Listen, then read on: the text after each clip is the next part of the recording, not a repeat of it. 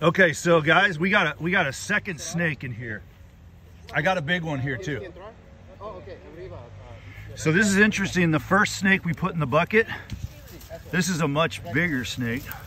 You see that guy?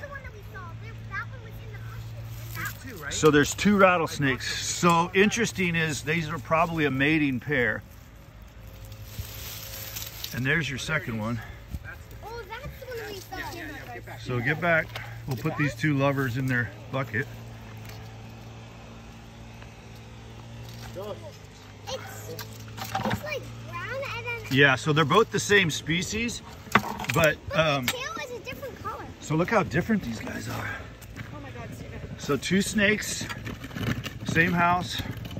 Uh oh, wait, get back, get back, get back. So he can slowly come out, but he, they don't jump. Let me get my tongue, and then I can kind of work with them a thought little bit. they jumped. No, they don't jump. Let me see if this guy lost his. Make sure there's not a third.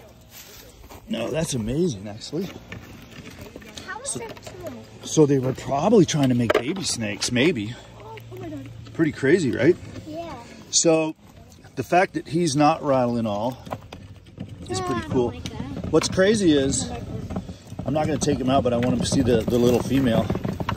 So two different color variations of the same species of snakes, but what's really unique is this little girl doesn't have a rattle at all. Yeah, that was weird. That's why I knew there was two because we saw a rattle.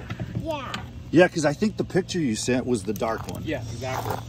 Wow, that's pretty fascinating. I've only found mating pairs maybe twice. And they're so different. So different. Look at that. Almost look like different species of snakes, but but, they are the same species. Same the species, dark yeah. one has like two tongues. Two tongues? Yeah, it looks Well, like it's a Or it's like a, it's like a Yeah, that's a